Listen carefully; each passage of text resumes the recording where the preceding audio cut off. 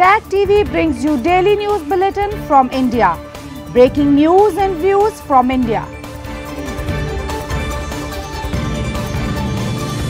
You're watching South Asian Newsline and have the top stories we are tracking for you on Tuesday, the 2nd of July. Flood situation worsens in India's Assam, red alert. Former Pakistan PM Imran Khan arbitrarily detained, says UN working group. And Nepal PM Dahal to seek confidence vote after UML and Congress forged alliance.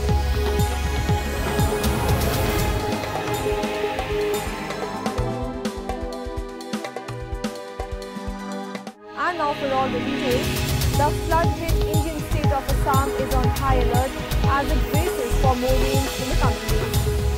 The northeastern state has been inundated by floodwaters for several days, killing at least 34 people and affecting more than 600,000 people.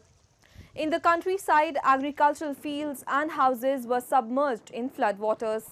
The water level in the Brahmaputra river, which flows through the region, has been higher than usual, leading to flooding in many parts of Assam. More than half a million people across 19 districts have been affected, a report from Assam State Disaster Management Authority said. तो पानी से बहुत आदमी लोग को मुश्किल होता है बहुत आदमी का घर पानी के अंदर गया अभी तो क्या करेगा अभी बहुत मुश्किल है The Indian Air Force rescued 13 fishermen marooned on a small island in the middle of the Brahmaputra, north of Dibrugarh in Assam, officials said on Tuesday. পানী হৈছে আমাৰ ধান আছিল চাউল আছিল চব পানীৰ তলত গ'ল পাঁচজন পৰিয়াল এতিয়া যেনে তেনে খালি ওপৰত এইখিনিত আহি বহিছোঁ আৰু আৰু যদি ইয়াৰ পৰা বেছি হয় তেনেহ'লে আমাৰ ঘৰটো ভাঙিব লাগিব এনেকুৱা হৈ যাব And UN Human Rights Working Group said in an opinion issued on Monday that Pakistan's former Prime Minister Imran Khan's detention is arbitrary and in violation of international law. The group on arbitrary detention said that the appropriate remedy would be to release Khan immediately and accord him an enforceable right to compensation and other reparations in accordance with international law. The UN working group said Khan's legal woes were part of a much larger campaign of repression against him and his PTI party. It said that in the lead up to the 2024 elections, members of Khan's party were arrested and tortured and their rallies were disrupted. Pakistan's election commission denies that the elections were rigged. Khan has been in jail since last August and is fighting dozens of other cases which are continuing. Khan and his party say that he was ousted in 2022 after falling out with Pakistan's powerful military. He alleged the US and Pakistani military played a role in his ouster through a parliamentary vote. Both deny the accusations. Moving on, MQM founder leader Altaf Hussain has called out Pakistan army for interference in the country's political and economic affairs. He said the restart of so-called anti-terror operations is going to make Pakistan more unstable. A report.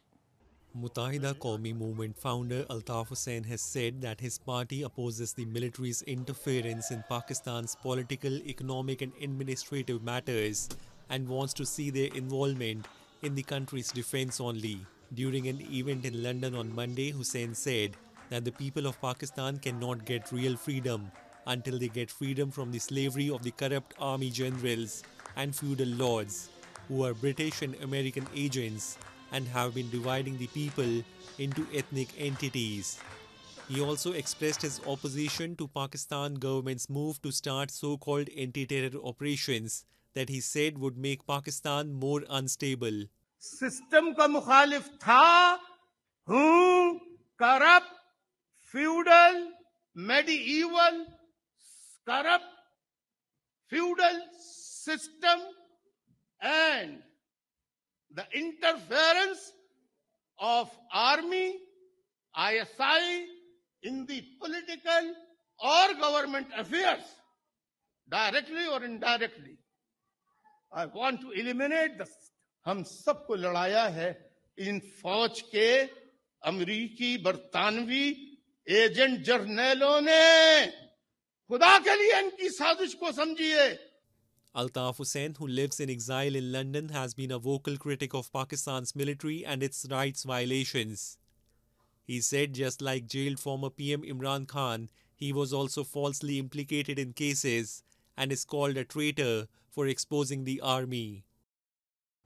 UN Political Affairs Chief Rosemary DiCarlo on Monday said that the United Nations-led meeting with Afghanistan's Taliban in Qatar does not mean a recognition of their government.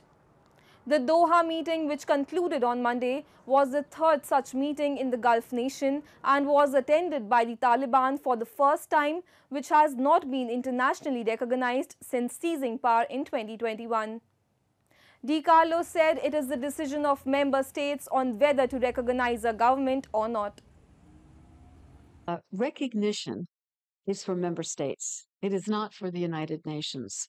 Uh, we are an international organization. We have 193 members, but it is their decision on whether they recognize a government or not, not ours. Well, What we are doing is facilitating uh, the interest of uh, quite a number of countries in the international community who feel that engagement with Afghanistan, principled engagement, um, will be to the benefit of the Afghan people, its neighbors, and the international community. Rights groups criticize the UN for not having Afghan women at the table with the Taliban in Doha. UN officials, to ensure the Taliban did not skip the meeting, as they did in February, decided on not to bring women activists to the official event. The Taliban say they respect rights in line with their interpretation of Islamic law. Running through uh, all the discussions was the deep international concern from special envoys and from me about the ongoing and serious restrictions on women and girls. Afghanistan cannot return to the international fold or fully develop economically and socially if it is deprived of the contributions and potential of half its population. We also discussed the need for more inclusive governance and respect for the rights of minorities. Moving on, Sri Lanka will save $5 billion in interest owed to bilateral creditors as part of its debt restructuring process, President Ranil Wickremesinghe said on Tuesday, adding that the funds will be used to boost dollar reserves and restore growth. The cash-strapped island nation inked deals with China and other creditor nations to restructure about $10 billion in bilateral debt last week, following 15 months of negotiations. Wickremesinghe said Sri Lanka gains multiple benefits from this agreement. The repayment period has been extended by 8 years to 2043 and interest rates have been adjusted to 2.1% or less. Sri Lanka's total external debt is $37 billion. Talks with bondholders to restructure $12.5 billion worth of debt is progressing well and a conclusion is expected soon, the president said kicking off a two-day debate on the restructuring process in the parliament.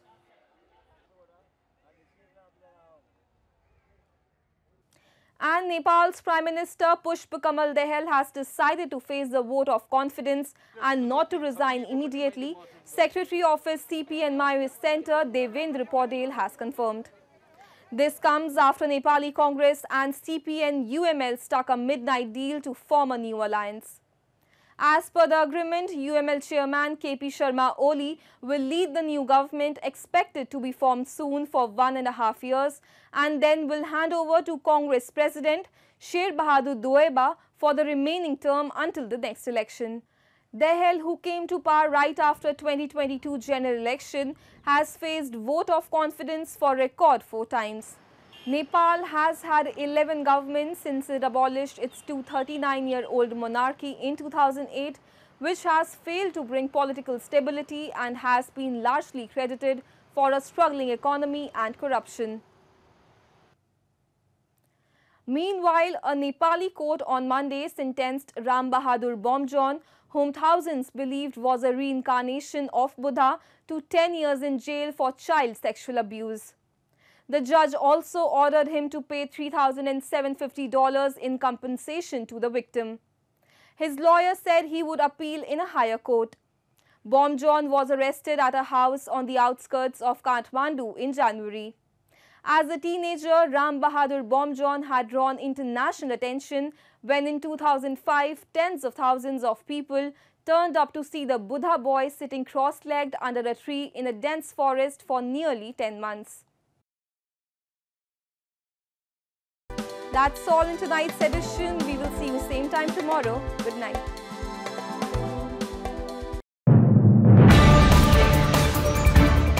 Tag TV brings you daily news bulletin from India. Breaking news and views from India.